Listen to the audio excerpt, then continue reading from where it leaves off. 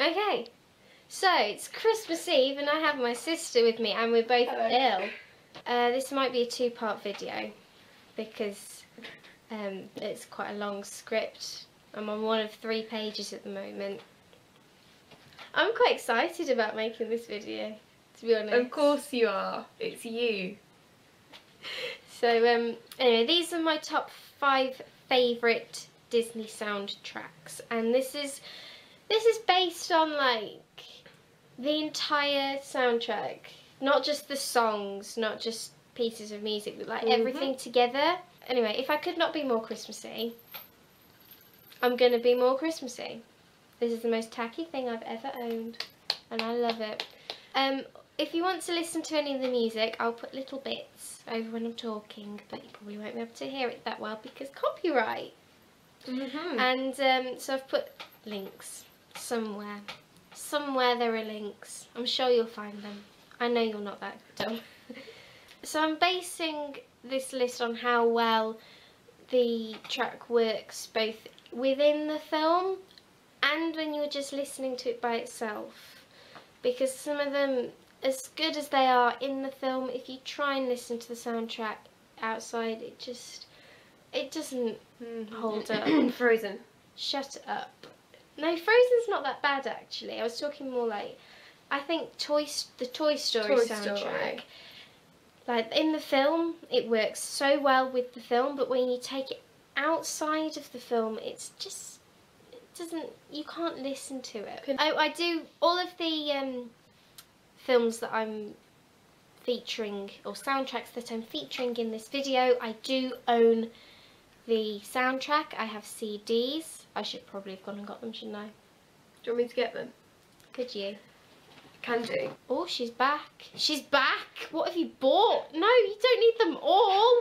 It's just the Disney ones. Top five I'm doing, not top 20. I think you've got more than 20 here. we put them under the stool. You're Under- sat on a stool. Do you feel A bumpy privileged? stool. Privileged? Guess what died? You did. No. the battery Most died. Perfect. The battery place. died, so we'll start that again. Okay, so starting from the bottom up, we have number five, which is Alice in Wonderland 1951. Oh, Alice. Oh, Alice. I love Alice to pieces. Um, so this one, this one is such a nostalgic track for me. I absolutely grew up loving Alice, didn't I? Yes. Ah, ah, so much. Um, the books, the films, you name it, I've probably got it. I mean, this is fantastic to buy. Firstly, as the album, like because they just all of the music in the film, everything's here, everything. Like they don't they don't miss anything off, and so you just you really get your money's worth. And I mean the music itself, Yeah. it's so vibrant, it's so full, it's Mm. just it's phenomenal. When you listen to it, you're just listening to the film without Well, the visuals yeah, well, and the talking. and the talking. Some of the talking's on this, but it's Yeah. such a well put together soundtrack to buy. Just they don't miss anything off. It's all in order, which really annoys me with some of them. It's not in order. Like, come on, you, why why would you not put it in order? It doesn't make sense to me. So the music in Alice in Wonderland runs throughout the entire film, which means that this soundtrack is nearly an hour long, which is brilliant. if you want to listen to it for an hour, it's fantastic. I love it. So, like the the songs on this, there are songs on this. There if are. you don't, if you've never seen Alice in Wonderland, there are songs in it. Would you believe? When it's a Disney film, how could there not in be songs? kind of mixed up in the tracks though, some of them. it's not really mixed up. No, because some of the tracks are like joined together. Oh, yeah, and then no. there's like a song in the middle. As you as you sometimes get with soundtracks, you'll have like a piece of music, song, piece of music, all in one track. all in one track. So if you do want to just listen to the songs, that might be a bit difficult for you. Uh, the music is still to this day fantastic. I don't think it sounds dated. I know some people might think it sounds dated, but I don't think it does. I think It's this like- sounds how film music should sound. It's like listening to the original Doctor Who theme. Yeah. It's so original. It's this, original. it's just it's how it should sound, and I can't imagine. I can't imagine it having anything else. And within the film as well, it just works. Like you can't imagine watching that film without this soundtrack. It's it's, the crazy. music and the effects. Um, the reason it's at number five is because it is it's hard to listen to some of it. Because if you do want to just listen to like an individual track, or if you've got your playlist on shuffle, it's some of the tracks don't make sense by themselves. Yeah. Like I feel like this soundtrack is brilliant on a whole, but when you break it down, some of the tracks don't work by themselves. And the, the person who put it together, they did have a really hard job though, because it is mm. ongoing music. To find mm. the places where you have to cut it, to put it in the soundtrack, must have been so hard. When, when you listen to it as a whole, you don't hear the cuts. It just no, no, rolls it just it just carries on through as if you were watching the film. And I props the person who did this. Props to the person who made this soundtrack because they had a really hard job and all things considered, they did pretty damn well at it. um, so I mean, despite everything, it, ha- it had to go on the list. It had to. Like this is my childhood. This is incredibly nostalgic. I used to listen to. I used to watch Alice in Wonderland in Norwegian. I saw it in Norwegian Yeah, before I saw it in got- English. Should I get the We've video? got the video. No, we'll leave No. the video for today. And you know, it just brings back so many memories, and I just love it to pieces. Alice in the I had to include it. I didn't have a choice. So if you don't like it, well, you probably shouldn't be watching this channel because uh, Alice in Wonderland is quite prominent in my life.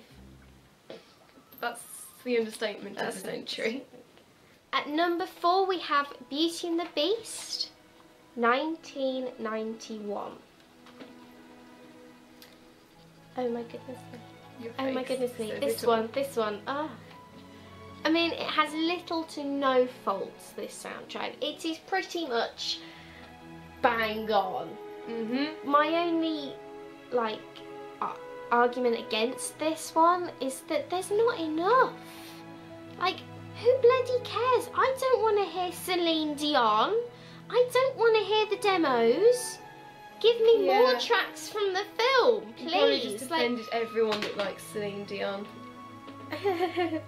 I just, I, I mean, I just wish they'd included more of the instrumentals from the film because, like, Mhm. the bit with the wolves in the film, the music Yeah. there is so good, It is. and it it wasn't in it, and I bought it, and I was so excited when I first listened to it, and I got to the point where it should have been, it wasn't there, and my heart just kind of dropped slightly. Um, so I mean, this fits so perfectly with the film. I mean, even though they didn't put the, the music on the soundtrack, which is a little bit, it it just fits. It fits fantastically alongside the film, and it deserves awards for It has got Alan awards. Alan Menken. I'm probably the only person. I don't know if you're. I don't know if you feel this way, but I think. I think the instrumentals on here are slightly better than the songs. I wouldn't compare. Am I alone? Am I alone? Do, do you kind of. Some of the instrumentals actually are better than the songs on this? I know people praise it for its songs, but. Yeah, like, they just. They just needed to include more from the film, less pop songs, and this might have been higher. And less demos. and less demos because like we don't need two. I, I love that I love that they put Death of the Beast in though. That's from the Broadway. Yeah. I do like that, And the broad but is the Broadway song on there, the um what is it? If I can't love her, is that only no, that's not on. It's not on there. I love that song. Yeah, but like they- they had so much to work with, and they just didn't put it in here. Um, it, it Mm. is it is beautiful, and you know by itself as well. Like each track, it's different from Alice in Wonderland because each track works uh, like standalone. You can listen to any of it by itself, and it's fantastic. Yeah. Like it, you know, it really holds its own. Absolutely. And in the film as Mm. well, it just it works. It just works. Perfect. And both with the songs and the instrumentals, like it, it just it, they they just work. And I I love hearing like the orchestra type soundtracks. I, they're they're kind of my favourite. Hmm. It makes me that, that's, that's how they should sound. They should sound so full. Yeah. Like the music should be a part of what's going on, not just the backing track. The build up in this soundtrack is fantastic. You wait until number two though. Build ups. Haven't even got. ha- not even close. Not even close. Oh. Coming in the middle at number three, we have The Hunchback of Notre Dame 1996. And oh my god, Mhm. I love this soundtrack. I really do. You do. Oh, oh, it's just, it's just perfect. Honestly, It is. It's one of those. I mean, it's Alan Menken. I mean, just, just listen, just listen to this moment right here.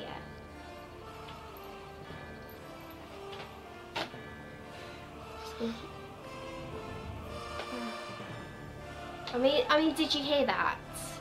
Did you? Oh, the music. Oh, it just gives me chills. I mean, that, that is how you write an epic soundtrack. It is.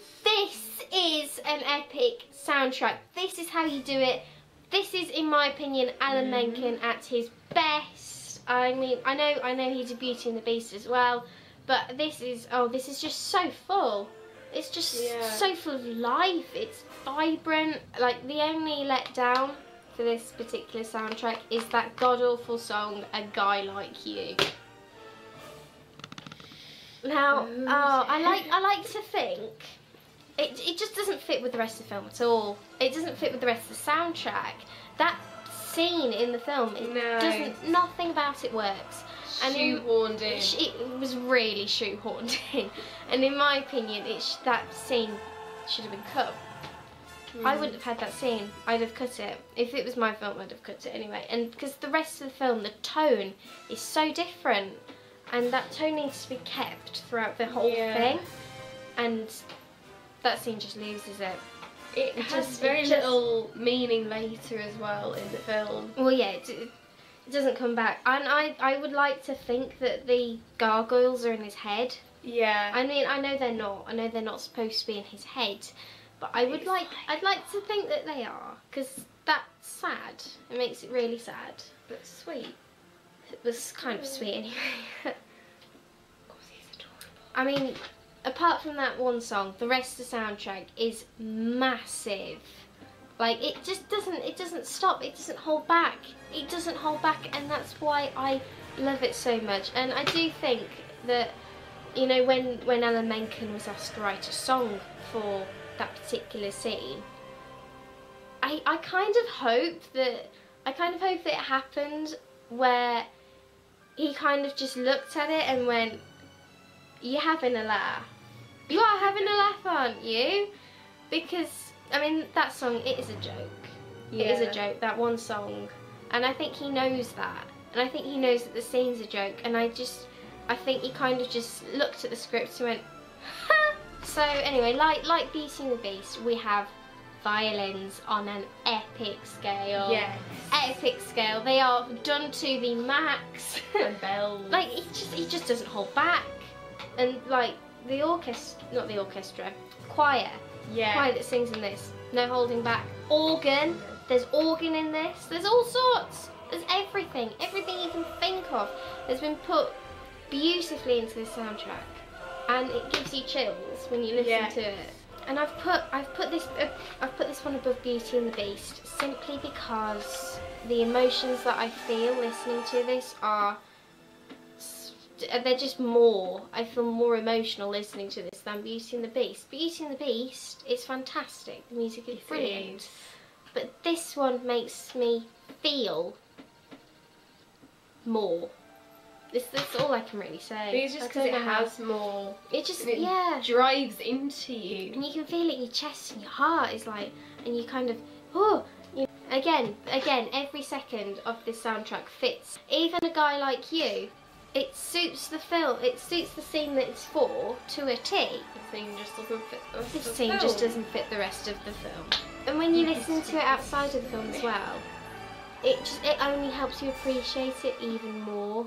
Yeah. And I think I do think they put the right amount of instrumentals into this one as well. I would like I would like them to have put more in, but do they do an extended I'm not as disappointed. I think they have got an extended soundtrack. I'm not sure. I'm not as disappointed as I was with Beauty and the Beast. My second favourite at number two is Treasure Planet from 2002. Ah. James Newton Howard is like the god of soundtracks. I mean, if you haven't seen Treasure Planet, it's worth seeing just just because of his music, really. I mean, I do love the film as well, but his music, it's just out there. And I mean, he somehow manages to pull like even the most dire films out of the mud with his soundtracks. He's perfect. He really is. And oh god, I love Treasure Planet so much. It is without fault. I think it is without fault.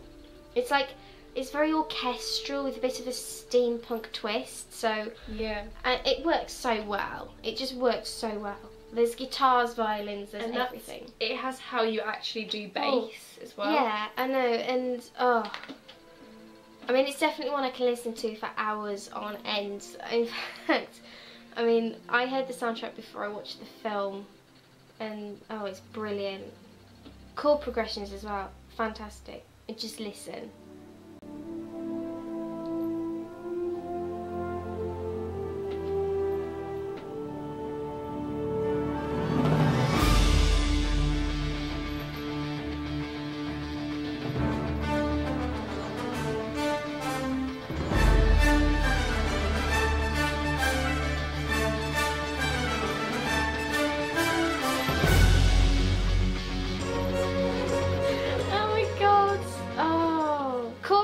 As I was saying, he uses it all the time. Um, I don't know what else he uses, and I, oh, I can't describe how it makes me feel. It just makes me feel. It's just so bloody brilliant. I mean, even the there's like crappy noughties songs in it, but it still fits with the film's aesthetic. And Oh. you can learn to love naughty songs. I mean, yeah, he, this is my favourite composer of all time. This- Mhm. Like, this is comparing him to John Williams, Danny Elfman, and oh, John Williams, I love the it. guy who did. I Star mean, he never fails to impress me, and this soundtrack proves it. Yeah. It's absolutely enchanting, and if I ever get to work with this man, I will be the happiest person alive. You won't like, work. You'll stop working as soon as you see that it's going to happen. Ah, I love it. Just, I just love it. I can't. I c- ah. Did you hear the guitar as well? And with the violins and ah, I take my hat off to you. you you I don't care. I take my hat off to him. He's just, Perfect. he's perfect. I've, I've never met more perfect. Perfect, perfect, perfect, perfect. So, in the top spot, the one you've all been waiting for, I'm sure, we have not Frozen, not The Lion King, Mhm. Mary Poppins 1964. Oh my god. Oh my god. You saw how I reacted to the last soundtrack. This one, this one, oh. This one. No words. I feel that this particular soundtrack is the most timeless. I'm showing you the back. This particular soundtrack is like the most timeless of Yeah. them all. And uh, it just goes. It goes. well. Yeah, I, I have got the extended one as well, which helps. And it goes through every single emotion under the sun. Happy, Mm. sad, excited, angry, and you finish the film with just such a wonderful feeling. Yeah. And that is largely due to the Sherman brothers. You know? Legends. If there just- were a... Ugh, can't even Hmm. talk.